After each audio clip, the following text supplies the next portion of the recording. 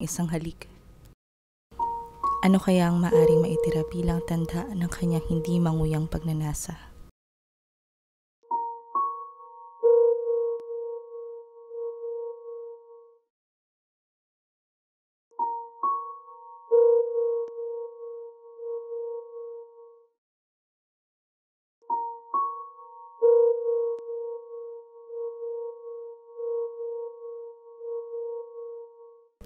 Ang bilog na bilog na hubog ng libog.